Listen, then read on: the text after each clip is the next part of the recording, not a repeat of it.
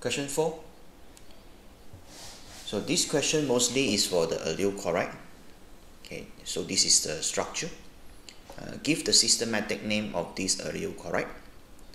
Uh, so first we need to identify uh, which one is the first carbon. So this is first carbon, second carbon, and the last carbon. And the chlorine bonded to the third carbon, so it's 3 chloro.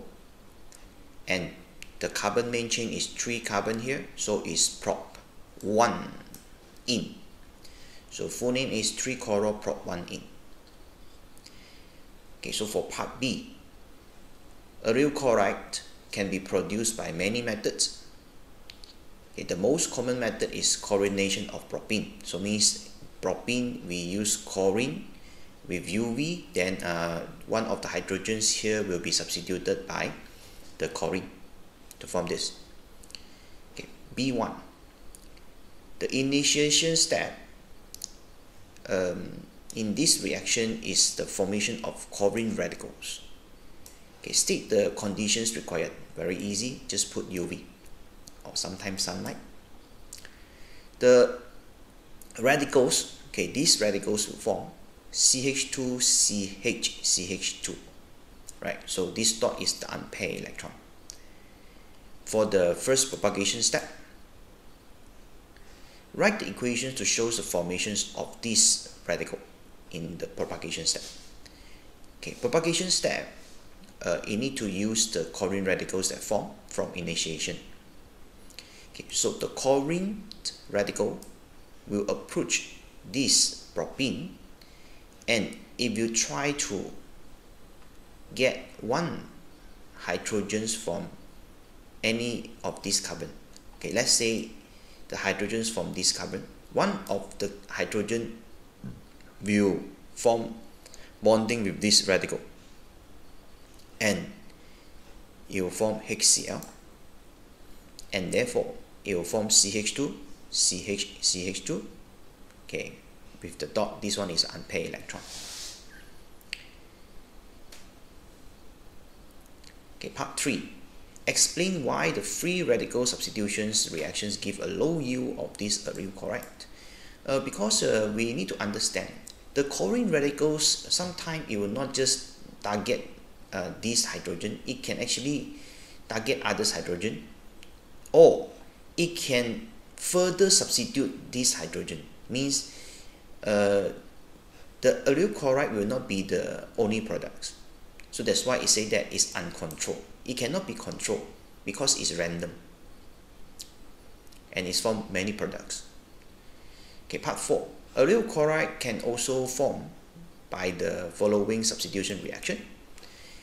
Okay so we use this one this compound with the OH then it's formed the allyl chloride we want. Okay this one obviously is a substitutions that use the compounds. So we can use PCl5 normal temperature SOCl2 okay PCl3 okay with heat or we can use this NaCl with concentrated H2SO4 because this one will form HCl right? So therefore the OH will be substituted by the chlorine. C a series of reactions starting from this allyl correct okay so now reaction 1 uh, for reaction 1 we know that the CC double bonds uh, is going to uh, open up and is form diol okay, because uh, there is an oxidation right? So after that this diol this alcohol uh, we can clearly see, see that after reaction 2 is formed ester these ester groups.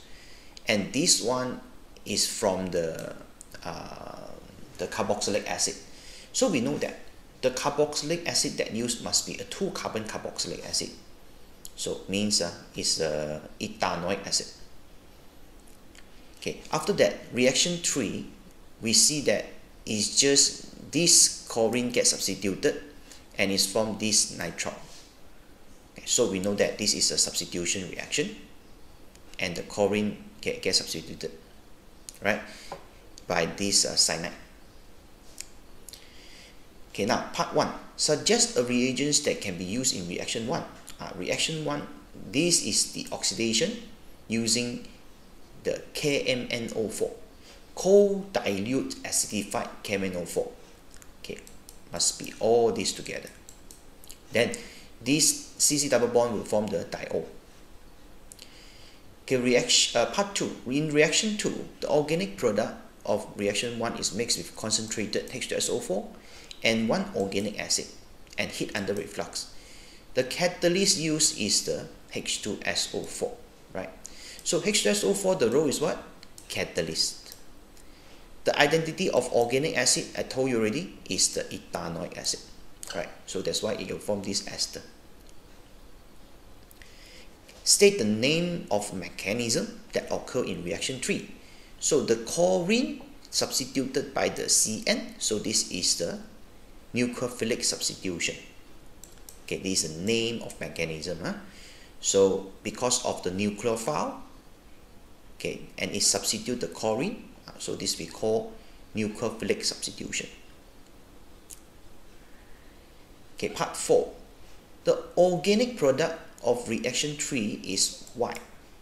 Y can be hydrolyzed okay to form Z.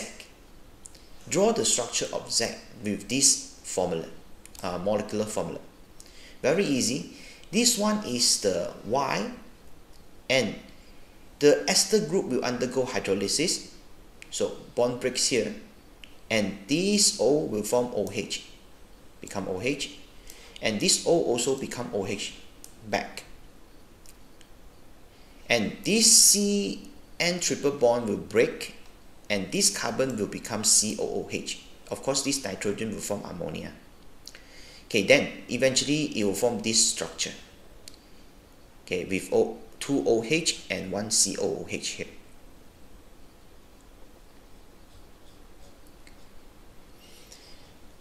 Okay part D.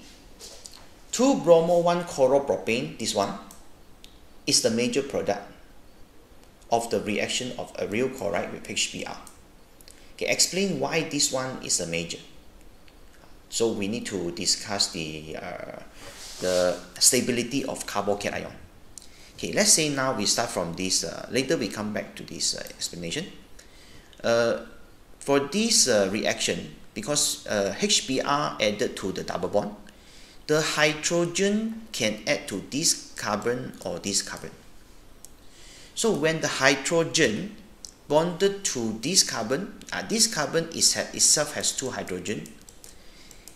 If the hydrogens from HBr bonded to this carbon, because this carbon has more hydrogen, so according to the Markovnikov rules, you form a more stable carbocation.